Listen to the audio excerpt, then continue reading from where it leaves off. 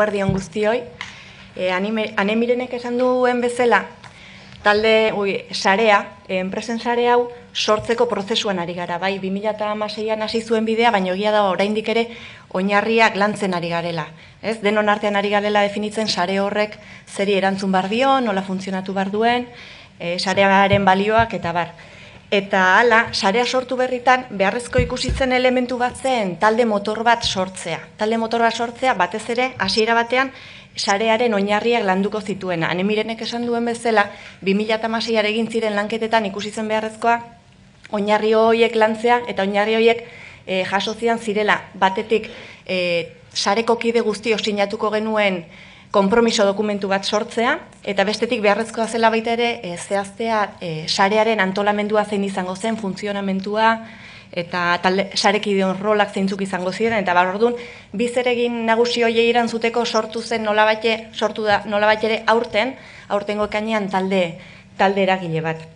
Egia da, oinarri hauek landu litzakela emakumeek bere, bere kabuz, zane mirenek esan duen bezala, eta gero sarekideokin kontrastatu, baina egia da baita ere, sortu nahi dugun hau sare banden neurrian, importantea zela ere, implikatzea beste sarekideok ere egiten genuen lan horietan, ardurak hartzea algenuen neurrian, eta hortik dator nola baita ere, taldera gile hau sortzeko proposamena. Beti ere emakunde lideratuta, eta kasu honetan eraberrianen laguntza izan du prozesu guzti hau gidatzeko.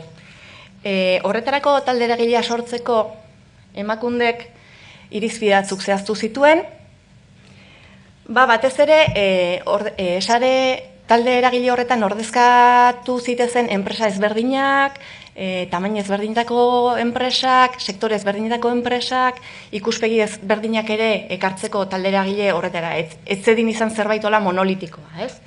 Eta horregaitik emakundek zehaztu zituen talde eragile osatzeko irizpide batzuk hemen diapositiban ikusi itzazke zuena, bai? Bermatzeko nolbait ere ez talde eragilearen anistasuna. E, egia da talde eragilea aurrikusi zen zazpi pertsonako talde bat izatea, baina hogeita sei erakundek adirazi zuten interesa talde eragilean parte hartzeko. Orduan emakundek alde aurretik landu zituen irizpide horietan oinarrituta hautatu zituen talde eragileko kideak eta e, hauek izan gara aurten talderegilea osatu dugunak. Hor diapositiban ikus ditzakez e, ikus zuen hortzugaren eta zer aipatuko ditut bat talderegilea osatu osatu duten pertsonak. Egonda Alejandro Naia Transporte Espesakoa, Arantxa Núñez Agintzariko pekoa hemen ondoan daukadana.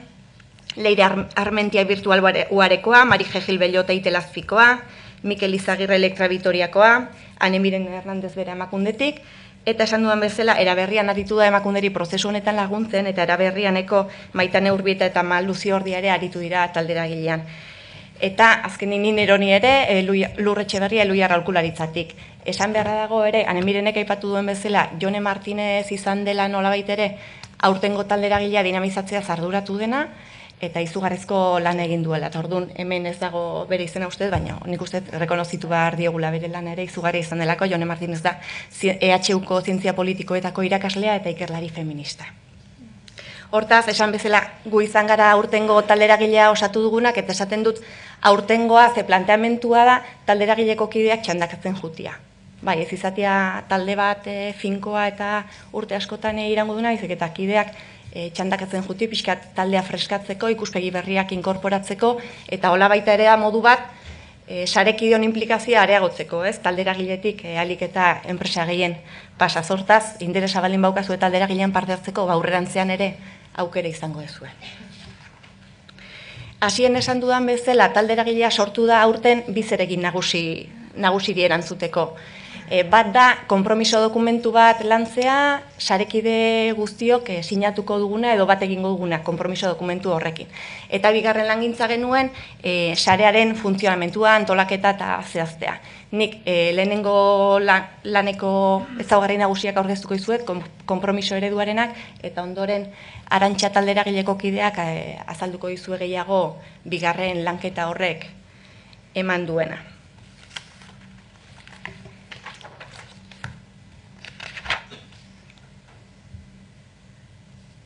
Bai. Bai, azteko konpromiso dokumentu hori lantzeko azteko egin genuena zen bestelako konpromiso ereduak aztertzea, eta azterketa horretan oinarrituta zehaztu genituen edo adostu genituen gure do, kompromiso dokumentu horrek izan barko lituzken ezaugarriak.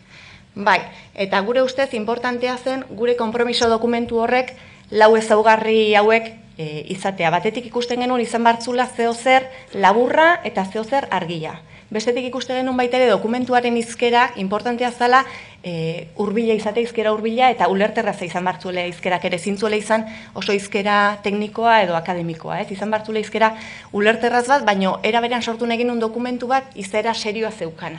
Bai? Ba, seriotasuna transmititzen zuena ere, ezta? Garrantzitsua, dokumentu garrantzitsu bat. Bestalde batetik, e, ikusten genuen dokumentuak e, nahi genuela izate izaera politikoa. Izaera politikoa eta ez izatea dokumentu bat e, izaera juridikoa edo teknikoa zeukana soilik. Izaera politikoa zergatik, pues, nabarmentzeko ere berdintasuna arazo politiko badela.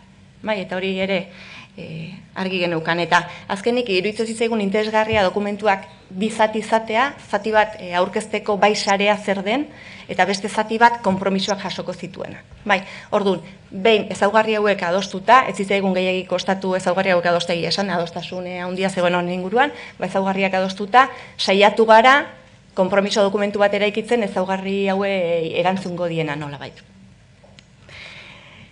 Emaitza, bai, emaitza zein izan da. Bai, e, hola, e, dokumentuak esango nuke hiru zati nagusi dituela. Zati batean e, jasotzen du bai sarea nortzuk osatzen dugun eta zelburu dituen, hori da sarrera edo. Bigarren zati batean jasotzen du sarea osatzen dugun entitateok, hartzen ditugun konpromisoak gure entitateen barruan edo gure entitateetan berdintasuna sustatzeko, bai? Konpromiso orokorrak berdintasunarekiko entitate bakoitzarenak eta badago beste hirugarren zati bat ere konpromisoak direnak, baina konpromisoak oso lotuta sarean parte hartzearekin. Hau da, ze konpromiso mota badibidez, e, enpresa bakoitzak izendatu beharko du solaskide bat sarean parte hartzeko, ordezko bat. Parte hartu beharko du edo konpromiso hartuko du parte hartzeko sareak antolatzen dituen e, topaketetan. Materiale edo praktika interesgarria konpartituko ditut da barta barrez, konpromisoak baitere, baino ja pixka bat sarearen e, dinamikari ekarrita.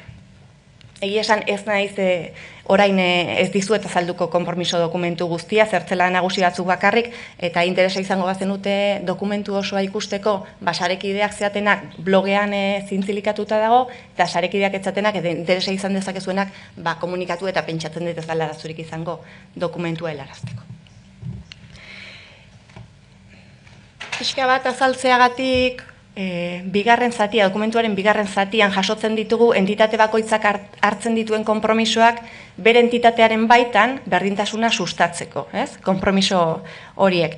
Eta konpromiso horiek zehazteko oinarritu gara nazio batuen erakundearen printzipioetan, onu mujeresen zazpi printzipioetan, eta horiek ekarri ditugu gure realitatera, eta egin dugu printzipio horiek egokitzeko e, ariketa bat. Baina, printzipio horietan oinarritu geha, eta zatik printzipio horietan ez beste batzutan, ba, bueno, ikusi genulako e, ikuspegi integrala zeukatela, osotasun bat jasotze zutela, eta gainea modu argi eta labur batian. Baita, ordu niru ituzitzaizkigun guk nahi genuen horretarako egokiak izan zitezkela.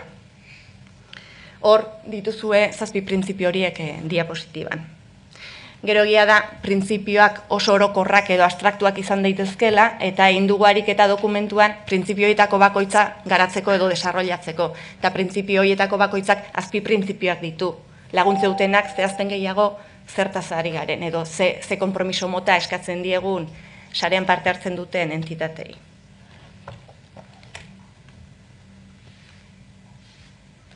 Eta esan bezala, ba, bueno, e, printzipioak zazpidia, baina azpi printzipiokin, ba, gero bai, ba, dokumentua ba, gehiago, osea, zabaltxa marra da, eta orduan, orain dene sartuko azpi printzipioak azaltzera, bai, azalduko izkitzuet bi azpi printzipio adibide moduan, izan zidezken hau, izan zidezken beste batzu, baina, bueno, iruditu zaizkidalako interesgarriak izan daitezkela. Ez da ere eman dezakete, eta gero nahi bezue komentatu, baina, segure hartzen esan, eta horren inguren eta aldera ginen ez da izan dugu, eh? Baina, bueno, adibide modura, bi azpi printzipio azalduko izkizuet, hau da bat, Naiz konturatu diapositiban, karo, gaztelaniaz neukala, hemen eh, irakurriko eta euskeraz. Eta esate genuen batez ere, emakume eta gizon guztiei soldata duina ordaintzea, eta balio berdineko lanaren truke soldata eta onura berdin eskaintzea emakume naiz gizonei.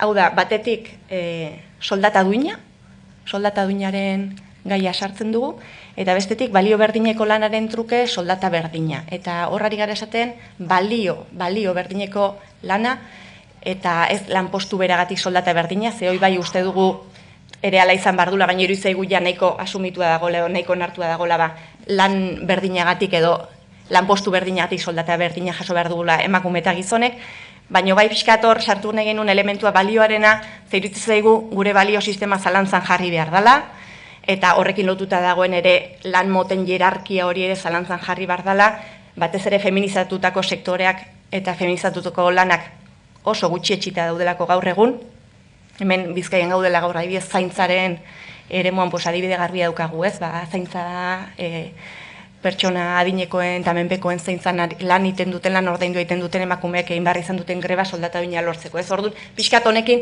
agerian jarri nahi genuna zan, zalantzan jarri behar hori e, balioen sistema nagusia edo hegemonikoa, e, lan moten arteko jerarkia hori, eta lan guztiei daukaten balio soziala aitortu behar zaiela eta, horre, eta horrekin lotutako ere ordainsaria eman. Ez? Hau da, azpi printzipio bat, hau da, beste azpi printzipio bat, e, nahi genulako no, ere e, evidentziatu edo nabarmendu, e, egia da gure gure ekintza bidera, e, sarearena batez ere bideratuta dagoela enpresetara eta lan merkatura, ez? Hori dela gure nolabait eragiteko esparrua, nagusiki, Baino, e, nabarmendu nahi genuen, e, guk lan merkatuaren ere muan, eta gure enpresetan aldaketak ekarri egin nahi baditugu, ba, ezin degula ere e, alde batera utzi esparru pribatu deitzen zaion hori, ez? E, etxeko esparrua, familiarena, komunitatearena, lagun artekoa, e, hori erabat lotuta dagoelako lan merkatuko egoerarekin da. Pixka bat, txamponaren beste alde hori ere agerian jarri nahi gendun, jakin da, horrera zuzenean eragiteko ez daukagula inbeste gaitasunik enpresotatik, naiz eta zeharka eragin dezakegun, ez? Adibidez, e, gizonen erantzunkidetasuna edo korresponsabilitatea sustatzea bada modu bat esparru horretan gertatzen denean eragiteko, ez? Baina pixkat agerian jarri nahi esatea, bueno, guk egia da zentratzen gera lan, merkatuan eta enpresetan gertatzen den horretan, eta bai zereatik saiatuko gea horrera egiten, baina ezin egu aztu errealitatea aldatu nahi badegu, beste realitate horri ere begiratu behar digegula eta hor ere eragin behar dela, ez? Ba, feminismoak irakatsi digun bezala pertsonala politikoa dela eta hori ere esparru politikoa dela, publikoa dela eta hor ere e, eragin behar degula. Bai. Horregatik ere azpi printzipio hau sartu gendun. Eta ba bukatzeko hasi naiz talde eragilearekin eta talde eragilearekin bukatuko dut, e, batez ere e, azaldu nahi dizuen e, zer izan da niretzako talde eragilean parte hartzea ze bai, e, izan da oso esperientzia positiboa, e, eta nik uste balio izan, ba, niretzako taldera izan da espazio bat ikasteko, ikasteko batetik e, talde txikia izan da, baina oso anitza izan da. Osea, talde eragilean parte hartu dugu e, enpresa oso desberdinak, baita ere makundek, eraberrianek, Jone Martínez Palacio dinamizazioan, eta orduan izan da e, ikasteko espazio bat. Bai, beste erakunden gandik, beti balio izulako ikuspeia irikitzeko, beste enpresetan egiten dena ezagutzeak eta moduak ezagutzeak, eta bestetik ere bereziki Jone Martínezen dinamizazioak aukera mandigulako beti ozein lanketa egiterakoan, beti ekarri izan du inspiraziorako materiala. Orduan, edukietan sakontzeko eta ikasteko ere oso balio izan digu, oso interesgarri izan da, eta bestetik beti erabili ditu ere lanketak egiterakoan teknika eta metodologia berriak. Orduan, gauzak egiteko moduetan ere ikasteko balio izan digu. Bestetik izan da espazio eroso bat. Eroso bat, gustora lan egiteko espazio bat, oso girona izan dugu gure artean, eta lasa eta konfiantzan lan egiteko aukera eman digu, eta egia esan hankasartzeko bildurri gabe. Bai, Eta azkenik izan da eskerroneko espazio bat, eskerroneko espazioa gure lana, ez? Aitortu zaiguna, eskertu dena, bakoitzen erritmoak ere errespetatu dituena eta oso ondo zainduak sentitu gara. Orduan, ba bueno, eskerrik askoan miren zuri dago ekizunagatik eta ba hoixen aldetik orain hitzarantxari pasako diot, ba bigarren lanketa zaldezan.